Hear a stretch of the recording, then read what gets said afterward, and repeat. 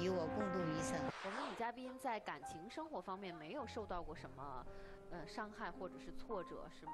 没有。其实你现在有没有一点后悔？如果当年要是对他要求严格那么一点点，不是那么纵容他、包容他的话，可能他还会陪你的时间更久一些。哎呀，那都是为了为了做生意嘛。啊，应酬，为了家嘛。所以你现在的这个生活非常的富足，跟当年呃前夫的一些努力呀、一些奋斗也是密不可分的，对吗？那你在未来想再找的时候，有没有想我选择一个也是要有很雄厚的经济基础的，或曾经经商的这样的人，会考虑吗？就有担当就行。至于啊有多钱无所谓，这么大岁数了，钱多钱少，有那个就两保就行了。但是前夫的不良习惯，应该也是给你的婚姻生活带来了很多困扰。现在那个我就要求嘛，不抽烟，不喝酒，嗯，不打牌。叔叔，您有这些爱好吗？我抽烟。抽烟。哎，两天一盒。这个抽烟的频次，您感觉可以？不行。叔叔能戒吗？我就一个人，完了就有点寂寞。如果说要是有老伴儿了的话，那可以。可以考虑戒烟。对对对，因为抽烟没好。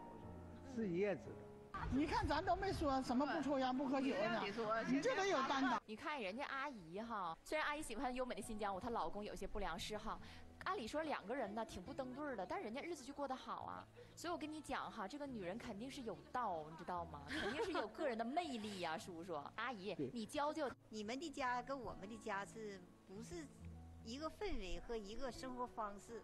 我跟我们家老公呢，就是开始。就登对呗，就这么说，都把家里边都安排的井井有条的吧。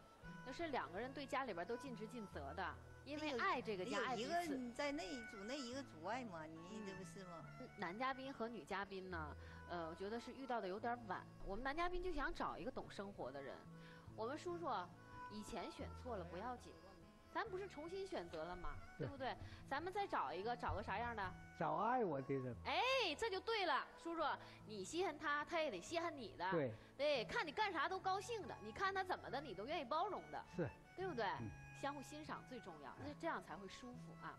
俩人还有什么要问对方的吗？没有。没有。嗯，来，好，二位请起。我们女嘉宾啊，你在我们男嘉宾的心里边啊。像一只美丽的花蝴蝶，你是已经飞他心里去了。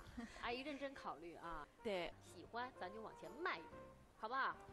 那小红娘呀。帮帮我，娘，小红娘帮忙，放心，我帮你。小红娘压力好大。我跟你说，叔叔啊，就是缘分真是靠自己争取的。我看在眼里是确实阿姨非常的优秀，但是我认为什么呢？我们之后不还有一些环节吗？那个时候你深思熟虑一下，可以展开疯狂的追求。那个时候我们仨全都帮你，咱们都会尽力的。放心，叔叔好吗？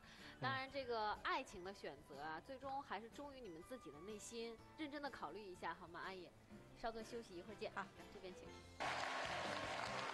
我们男嘉宾这种状态啊，觉得有点像年轻时候的这个十八九岁的小伙子，真有的那种感觉。我喜欢一个姑娘，情窦初开。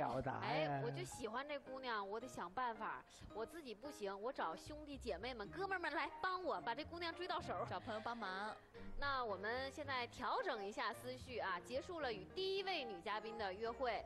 哎，看着这这老头吧，挺什么，挺老实，挺朴实的。接下来，我们男嘉宾要选择第二位约会女嘉宾。